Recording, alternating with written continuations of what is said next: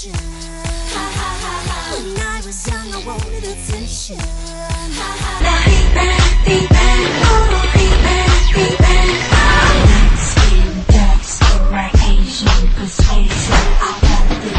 Hey guys, welcome back to What's Than TV. I'm here with music artist Mila Jam. Some of you may know her as Brittany Houston, the YouTube sensation. How are you? I'm great. How are you? I'm great too. Thanks for asking. So, can you tell us about your transition from Brittany Houston to Mila Jam? Sure. Uh, so, Brittany Houston was a character that I created that was basically about uh, expressing how much I love pop music and sort of putting a funny comedic spin on it. And uh, I realized after it started to become really popular and successful that I wanted to uh, do more than just be a spoof artist and be someone who does parody videos. And I had been writing music and doing my own music on the side for a long time, and I felt like it was time for me to just make this decision if I was going to continue doing that or if I was really going to work on the voice that I had. And I made the decision, and I was like, it's time, I need to like go forward. If I keep this train going, it's probably gonna never, I'm never gonna be able to get out of it. So uh, I kind of halted everything, and I just literally sort of disappeared for a minute and I just focused on myself and I focused on writing and I stopped making videos and people to their dismay were kind of disappointed. um, I didn't, I just literally just got back to my life and like started from scratch. I started completely over and I said, you know what, no, I'm not gonna just rely on the things that other people are doing. I feel like there's an art to that and I, I capitalized on it, but I was like, I just didn't feel like it was true to me. I just felt like I was like not being authentic. So I was like, there's so much more I need to say on my own, and I wanted to write my own music. So I decided to just just stop. And then, uh, yeah, a lot of my followers were kind of like, when is your next video? And I actually remember it was during the time when Beyonce was doing Single Ladies, and everyone was so excited about it and just knew I was going to do a Single Ladies video. And I didn't even need to because everyone else did. oh yeah, everyone has a video of Single Ladies. Yeah. But um, on one of the, the videos that you did when you were in Houston, I seen Laverne Cox in one of those. Yes, you did. and I seen you on her Instagram too. So like, how do you guys know each other? Laverne Cox, uh, who's that? I've never heard of her. I'm not sure who that is. Oh my god. is that? Uh, she's actually my bestie. She's my best friend. Um, we've been best friends for many years. Um, I won't say how many, uh, but we've been best friends for uh, many years, and, and I can honestly say she is like my right hand girl, and she's helped me through so many things in my life, and she's always been there for me. And when we actually met, she kind of said to me, I'd never really had like a close girlfriend, and I was like, well, girl, we need to hang out. And she, she was a little skeptical, and she was just like, you're too like about it, you're too friendly, and I, I was like, it's all good. Like, there's no agenda. I think you're an amazing woman, and I think that we should just, you know, take on the world together. Um, back in our day, I used to refer to us as like a Paris and Nicole team, um, like the simple life, but we were not as reckless. but we we just did everything together. Went out together. We uh, danced together. We were uh, backup dancers for some some different musicians and performers here in New York, and. Um, our friendship has just literally flourished. We just we still we still are like on the same page. Okay, and you guys are still close as ever. Extremely close. I like she's like part of the reason I'm here. And like without her I would not be the woman I am today. Oh, So she's also an inspiration. I was just gonna ask you who's your inspiration, so. Uh, my inspiration, oh my god. Um, Laverne Cox is definitely one of my inspirations. Um, I've been inspired by a lot of musicians in pop music. I love Britney Spears. Um, Whitney Houston is definitely one of my inspirations. Brandy is probably like at the top of my list Oh, wow, I because I grew up on her and I always wanted to be her when I was little. And she just represented she just represented the like the innocence and the beauty of being like a young black woman and like she just had an amazing voice and her tone and the textures. So there's a lot of her in, influence in my music. Um, i also love Nikka Costa. She's a soul funk r&b singer. And um, my mi madre my mother. She's probably like Of course. the queen of, of all inspiration just because she's extremely supportive always been on uh, my team and has always put her stuff on the back burner just so that I could get to the next level. Oh, mama's girl. Yeah, I am. I am. so have you always been into music? Yes, um, music is. Uh, oh my God, I can't believe it! I forgot Janet Jackson. She's like my hero. I can't even. I'm thinking about like all the people. Sorry, Janet Jackson is probably my number one. She's right after mom. Let me just How do you reiterate that. Janet Jackson if she's after your I know because I, I'm literally thinking in my head, oh my god, I have to say Brandy because I love her and I just met her, and then I'm like thinking of all this stuff going on with Janet Jackson in the world. Mhm. It's like it's like I just I love her regardless of anything, regardless of her. If her song was literally like her sleeping, I would be like, it's Janet. Like where do you you know you can love it or hate it, but once a Janet fan, you're always a Janet fan. Yeah. So that's kind of how I am. So Janet, Janet Jackson, Janet Jackson. I love Janet. So, um, but um, back to what was uh, let's Have you always been into music? uh, yes, I have always been into music uh, ever since I was like a wee little uh, embryo. Um, I think music for me was the way that I could express and also connect with people, even being someone different as I grew up. So it always made me relatable. Um, you know, when you like the same music as other people or you experience music with other people, you kind of come together. And it's like the one universal thing that brings people together.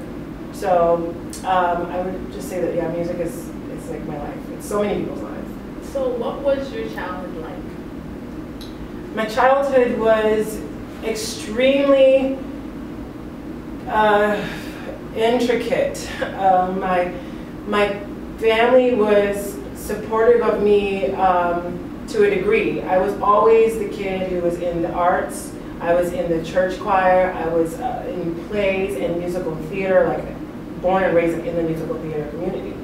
And so every time I like felt like I was, you know, pressured or I was going to be affected by people like bullies or kids that didn't like me or understand me, Yeah. I always removed myself from the situation, and I always was like, I like kind of became a little bit of a hermit and focused in on just like, you know, my passions, which were like taking dance classes, and like every day after school, I was always in rehearsal.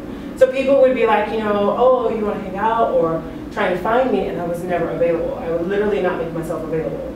So I'd be like studies in class, then rehearsals, and school rehearsals, school rehearsal, and I even drove two hours away for rehearsals for certain projects that I did and would drive back the same night to go to get up and go to school the next morning and just off and on. So I had always been determined to really work on uh, work in the arts and work on music. So basically, you being so busy, you really didn't have time for the bullies. Like, Yeah, yeah, I kind of was like, I kind of like created this bubble and this kind of force field of, it's, it's two things. I did that and I sheltered myself from those, uh, I guess those moments of being bullied. I just didn't, I was never in the wrong space. I was never in the wrong time in the wrong place. I was always conscious of like when and where to go places and do things. But then uh, I was always known as the person who was so talented and like, people just looked at me as like, you're the kid who sings, you're the kid who, does, who dances, and like you're so good. And it was a way for people to like me, whether or not they agreed with who I was or really embraced me. They found a reason to like think I was cool enough to be like, oh yeah, that's the kid that like sings or like dances, and I'd just be like, hey, what's up, you know? So and I just kind of like kept going on about my business, um, and it just like stayed out of people's like drama. and you grew up in Georgia, right? Tell me about that.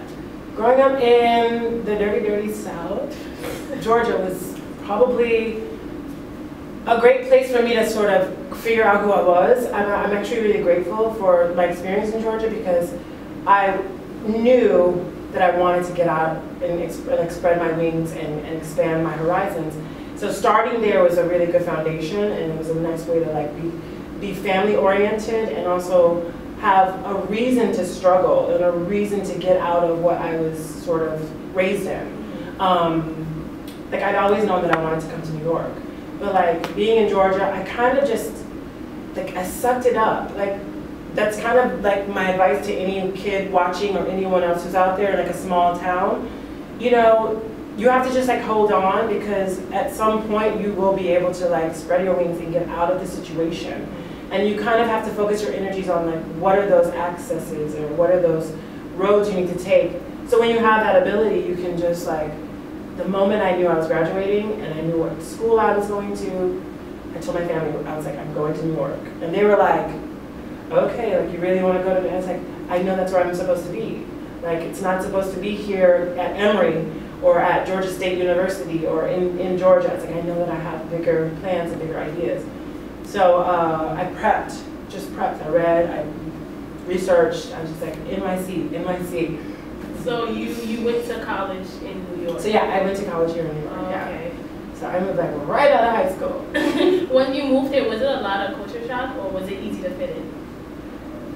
It was a breath of fresh air. Like I literally got all uh, like my mom actually drove me. We like took a road trip and I packed all of my stuff in the car and we drove up here and and we when we got here I had already been to New York once before. Uh, I did a dance trip with my dance studio and we kind of got a glimpse of like what it was like. We took classes at Broadway Dance Center. We did like a whole intensive. So I was like already I already understood like that's what I want. The city is my home and I'm craving that. So when we got here, it wasn't a culture shock for me. It was ex- exciting, and it was it was like normal. I was like, this is exactly what I'm looking for, and everyone is different. Everyone is is creative, maybe not creative, but cool with creative people, and I mean, it's just like it felt like it was a you know a melting pot of just what I didn't get when I was growing up in Georgia. Okay. So now let's talk about your music now. Your latest song, Cola. Mm-hmm. I see. I watched the video and I loved it. What is your favorite cola? Uh, the classics, Coca-Cola of course. What was the inspiration behind the music video?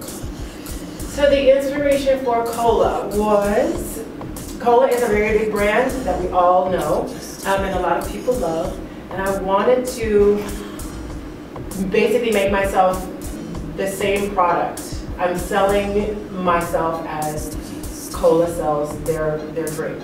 And that's represented with a lot of pop art, pop art, um, and iconic visuals, and it's all about branding. And for me, I wanted to be like, you know what? I'm like the Coca-Cola bottle, and I want people to want me, and I want to basically become embody what that meant. So in pop music, I also feel like there's a, a very heavy reference with, with Coca-Cola or Pepsi or pop because it's something that's popular. Um, and it's like a drink that's associated with like a lot of the top pop artists, like Britney and Pink. The underlying tone was about being sexy and suggestive, but like sort of subdued because it's intoxicating and you kind of find your way into it. It's not just like hitting you over the head with like, you know, a lot of loud music and a lot of loud vocals. That's why it was very sort of just like in the cut because it's it sneaks up on you and it's like everyone eventually kind of gets into it. They might not like it at first, but you hear it a couple of times, you put it on repeat, and you'll be like, oh, Coca- Yes. so, um, do you have any upcoming projects that you're working on, and where can your viewers follow you? So I am working on this project with a company that's called I am from I'm from Driftwood TV. Uh, I did an interview for the Huffington Post about three months ago, three or four months ago, uh, and it was about my story uh, uh, going from Brittany Houston to be Mila Jam, and kind of uh, just opening up about all of that. They tell stories of the LGBTQ community uh, and all the things that people go through that are different in the various spectrums of the experience. So they actually hired me to be one of their um, talk show hosts for their new YouTube show. Thank you. It's um, coming out in the fall. It's uh, I'm from Driftwood TV. You can just Google that. Uh, go to YouTube. I'm from Driftwood.com. And uh, it's myself and another woman who's actually uh, a, news anchor in Westchester. Uh, she's a journalist and she's absolutely amazing. Um, her name is Femi.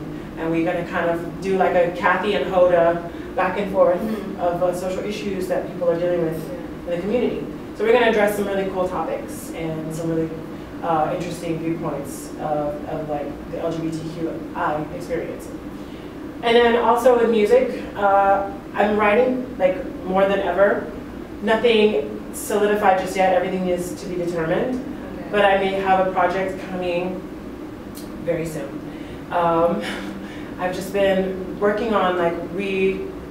I always reassess. I always like to rebrand a little bit, not too much, but just kind of, you know, find a different direction and not get too bored with the things that I do. Um, and I'm I'm all over social media. Sometimes you'll see me hanging out and supporting my girlfriend Laverne Cox. Um, I host a lot of nightlife events and parties here in New York City. And uh, the best way to follow me to catch any of that is to go to my Instagram. That's really where it's at. And that's at the Mila Jam, uh, a, at T H E M I L A J A M. I'm the only one. And then you can also go to my website, which is themilajam.com. And on Facebook, it's just facebook.com slash themilajam.